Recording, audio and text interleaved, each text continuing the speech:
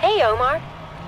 I know it feels like you're just getting started, but this showcase is as good an opportunity as you'll get to have some fans screaming your name.